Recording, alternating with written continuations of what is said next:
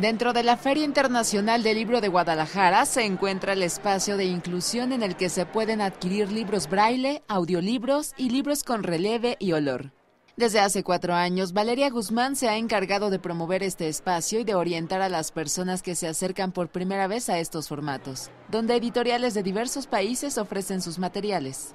Y es importante porque pues porque esta feria es muy diversa, es una de las ferias más importantes a nivel Iberoamérica y creo que una feria como de esa calidad pues no puede dejar fuera a un sector que es importante, que también merece un espacio en la feria y que merece conocer libros ¿no? Eh, en textos, en formatos accesibles.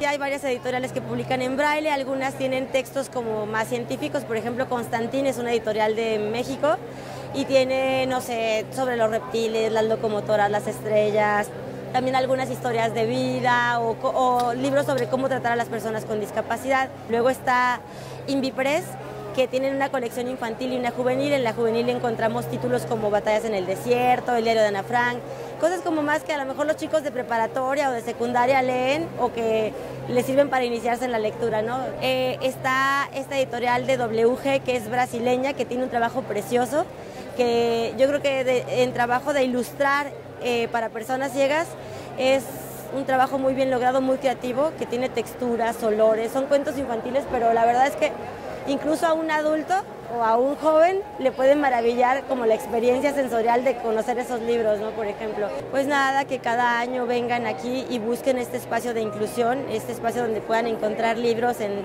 sistema braille, que se acerquen a las personas con discapacidad, que a fin de cuentas es un tema transversal, que no es solo de un sector, sino de toda la población, porque podemos tener una relación muy cercana más de lo que creemos con la discapacidad o podemos incluso vivirla. Así que deberíamos pensarlo de otra manera y acercarnos y también darnos la oportunidad de que nuestros sentidos experimenten de otra manera, porque si este mundo es muy visual y el mundo visual es una maravilla, también el mundo de los otros sentidos o el mundo que te ofrecen los otros sentidos puede ser muy interesante.